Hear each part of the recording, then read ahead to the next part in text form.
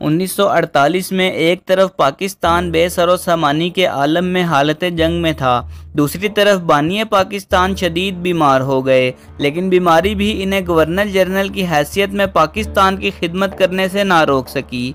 कायद अजम के दौरे हुकूमत में पाकिस्तान की मुश्किल बेपनाह थीं, मगर हौसले जवां थे। इस दौर में माली मुश्किल के साथ सत्तर लाख महाजरीन का इजाफी बोझ पाकिस्तान के कंधों पर आन पड़ा था। इन मुश्किल के अलावा एक अहम मसला ये था कि आज़ादी के वक्त पाकिस्तान का कोई आइन नहीं था। 1935 के बरतानवी आइन को ही मामूली तब्दीली के बाद पाकिस्तान में नाफिज कर दिया गया। पाकिस्तान 30 सितंबर उन्नीस को अकवा मुतहदा का रुकन बना। सबसे पहले पाकिस्तान को ईरान ने तस्लीम किया और फ्रांस में पाकिस्तान का कौमी परचम सब सबसे पहले लहराया गया।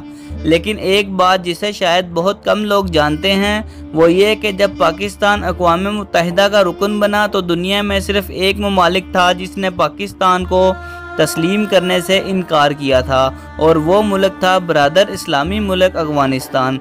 तो ये थे वो हालात जिनमें बीमार कायद अजम को इंतहाई ख़तरनाक हालत में बलोचिस्तान के शहर जियारत से कराची लाया गया।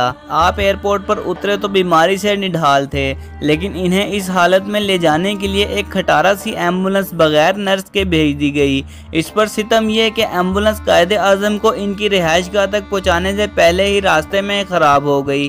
जब दूसरी एंबुलेंस मंगवाई गई तो इस दौरान एक घंटे का वक्त लग गया, जिसमें मोहतरमा फातिमा जिना बीमार बानिए पाकिस्तान को पंखा झलती रहीं। इस सवाल का जवाब आज तक किसी के पास भी नहीं मिला। कि ख़राब एंबुलेंस भेजना एक साजिश थी या ऐसा एक बेसर सामानी से लड़ती रियासत में कम्युनिकेशन के गैप की वजह से हुआ? ऐसा भी कहा जाता है कि कायदे आज़म की आमद के बारे में लियाकत अली खान आगाह ही नहीं थे।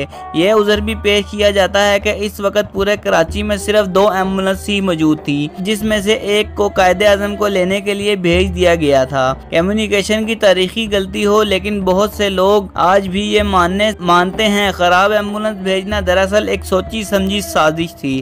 कायद आज़म जब घर पहुँचे तो बीमारी से बुरी तरह निडाल हो चुके थे। आखिरी वक्त में उनकी बहन मोहतरमा फातिमा जिना और ज़ाती मालिज के सिवा इनके साथ कोई दूसरा मौजूद नहीं था।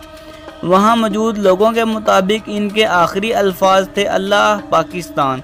उन्होंने ये कहा और जान जाने आफरी के सपुर्द कर दी। कायद अजम के जनाजे में छः लाख लोग शरीक हुए।